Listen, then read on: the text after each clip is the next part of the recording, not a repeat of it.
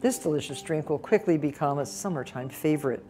Into the bottom of a tall glass, add three generous teaspoons of strawberry puree. Add a scant teaspoon of superfine sugar. Pour in three tablespoons of freshly squeezed lemon juice. Spoon ice cubes into the glass. Top off with your favorite sparkling water and serve immediately with a nice teaspoon for stirring. It's a good thing.